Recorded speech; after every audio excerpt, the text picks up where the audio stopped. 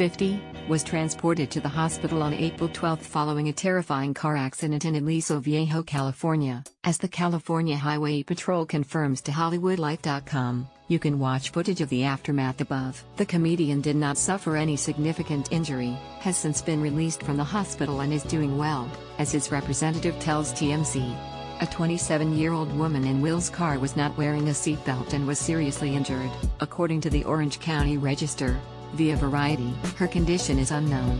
We previously knew that Will's SUV was flipped in a two-car accident when it was sideswiped from the right rear, as TMZ first reported. The Saturday Night Live star was seen talking on the phone while being loaded into an ambulance. The driver of the Toyota apparently had fallen asleep and struck the rear end of the Lincoln Navigator causing it to hit the center divider wall. Officer Rafael Reynoso told the Orange County Register, along with two other people and the driver, who was riding in an SUV driven by a chauffeur and was traveling back from a Funny or Die event called Glam Up the Midterms, where he had appeared in character as Ron Burgundy from Anchorman. Witnesses claim to TMZ that the accident took place at around 11 p.m. HollywoodLife.com has reached out